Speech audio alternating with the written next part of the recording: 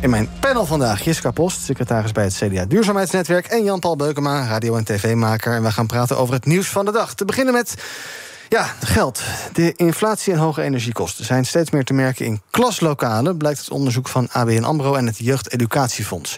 Bij bijna 4 op de 10 basisschoolleerlingen wordt er thuis bezuinigd op bijvoorbeeld kleding of ontbijt. 15% van de kinderen heeft geen eigen fiets. 3 op de 10 ouders heeft moeite met het betalen van de ouderbijdrage. Dat zijn toch wel schokkende cijfers. En het zou toch, uh, ja, kijk, dat we iets moeten inleveren, Jiska, dat is misschien niet zo erg. Maar dat kinderen daar ook onder lijden, dat het ook in de klas Ja. doordringt, dat is toch wel tamelijk schokkend. Ja, ik vond dat zeker schokkend. En in de Telegraaf stond wel een interview ook met een directeur van een school in Enschede... die dan wel heel veel extra kon doen voor kinderen die in die situatie zaten. En dat is dan een school die dat kan doen. Maar je hebt natuurlijk ook heel veel scholen die dat extraatje niet kunnen bieden. En dan, dan vind ik het eigenlijk nog wel erger dat, dat een basisschool dan niet die extra hulp kan bieden. En dat die kinderen nou eigenlijk een beetje aan hun lot zijn overgelaten als het, eh, als het hierop aankomt. Ja. Ik vond het eh, ja, schokkend artikel. Hoe moet dat verder? De, eh, ik weet wel, het ministerie is nu natuurlijk bezig met, eh, met de, de, eh, de rijke schooldag, heet het volgens mij. Dus dat je ook zorgt voor een, een lunch of een ontbijt vanuit school. En dat mogen scholen nu op een eigen manier invullen. Het is wel nog een pilot, maar dan denk ik als je dit soort dingen leest. Het is ook niet nieuw. We koppelen het nu natuurlijk aan de inflatie. Maar het is iets wat je de jaren daarvoor ook al zag. Misschien in iets lagere aantallen, maar het was er al wel. Dan denk ik, moet het nou weer een pilot zijn? Of kunnen we dat niet gewoon een keer met elkaar goed regelen? Zodat dus ook basisscholen die niet dat extraatje kunnen geven... ook gewoon vanuit het Rijk daarvoor steun krijgen. Ja, ik dacht dat er toch zoiets aankwam als gratis schoolontbijt of gratis Ja, daar zijn ze nu mee bezig. ja, en dat is nu dus een pilot. Oké, ja. ja, dus het is weer voor één jaar wat geld. En dan, nou, daarna gaan we weer met z'n allen kijken wat we ervan vonden. Ja, En dan, Een beetje aantrutten. En dan uiteindelijk komt het wel waarschijnlijk. ja, maar je kan ook nu natuurlijk al zeggen... dan kunnen die scholen zich daar ook op inrichten. We doen het gewoon voor vijf of voor tien jaar, zoveel geld. Dit krijg je per leerling, op die manier gaan we het doen. Ja.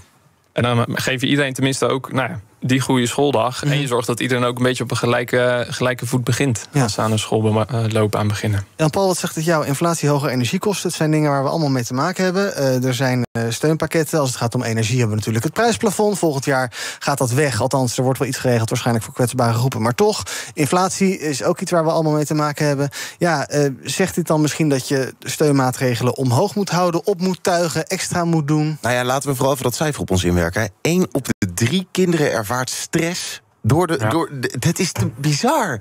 Dat is door, we leven in Nederland en dan één op de drie kinderen. Dat is in een gezin van drie is dat er één. Dat is, dat is niet voor te stellen. Ehm, dus nee, je, moet gewoon beleid, je moet gewoon beleid voorkomen voor goede schoolontbijten. eh, Zorgen dat uitjes, museumjaarkaarten, pretparken... dat daar allemaal goede eh, subsidies, weet ik veel wat. Maar daar moet gewoon beleid worden gemaakt. Want hier kan niet een kind de dupe van worden. Ja, in een klas kunnen het zo eh 8, 9, 10 kinderen zijn. is toch bizar? Ja, en dat zijn vaak dus hele scholen. Kijk, in Bloemendaal heb je niet één op de drie die er last van heeft. Nee. Maar in Zuidoosten en Amsterdam is het natuurlijk de overgrote meerderheid in de klas. Dus je benadert ook echt grote groepen Mhm.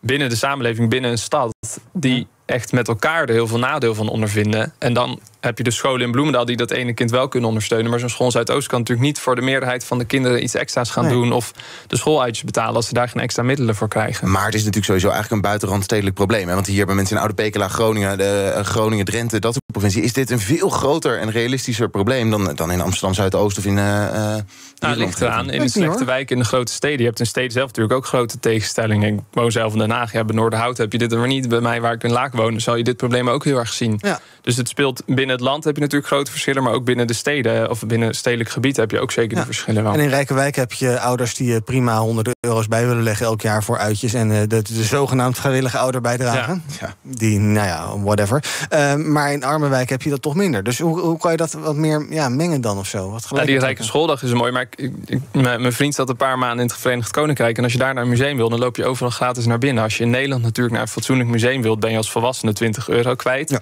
Nou, kinderen tot vier zeggen we dan nog, die zijn gratis. En daarna ben je voor een kind ook al 10 tot 20 euro kwijt. Dan maak je het voor een school natuurlijk heel duur om erheen te gaan. Maar voor ouders maak je het ook onmogelijk als je een krappe beurs hebt om op zaterdag een keer zo'n uitje te doen. Laat ik het even nog erger maken. Oké, één op de drie stress. Ehm, maar ook kinderen die geen eigen bed hebben. Kinderen die geen eigen fiets hebben of eigen kamer. Wat ook weer gevolg heeft voor eh CITO-scores. Wat dus ook later weer gevolg heeft voor waar je terechtkomt in je vervolgonderwijs. Voor je carrièrepad. Dus ja, dit moet je de hoogste prioriteit hebben. Want anders dan vernachel je gewoon een hele generatie. Ja, ja zeker. En maar dan heb je natuurlijk wel echt over structurele financiële problemen bij mensen thuis ook. Dus dat kan je al niet meer natuurlijk oplossen met een rijke schooldag of een gratis museum. Dus dan moet je echt breder gaan kijken natuurlijk of uh, iemand die een normale baan heeft eigenlijk nog wel rond kan komen in deze samenleving. Of dat we daar toch iets verkeerd aan het doen zijn. Ja, spoiler, nee, dat kan niet. Dat kan niet. Nee, en als je dan steun hebt, dan kom je in allerlei ingewikkelde toeslagensystemen terecht. Dat moet natuurlijk veel makkelijker kunnen dat als je in zo'n situatie zit, dat je dan op enige manier daar extra ondersteuning voor kan krijgen. Ook Bas van Werven vind je in de BNR-app. Ja, je kunt live naar mij en Iwan luisteren tijdens de ochtendspits. Je krijgt een melding van Breaking News. En niet alleen onze podcast Ochtendnieuws, maar alle BNR-podcasts vind je in de app. Download nu de gratis BNR-app en blijf scherp.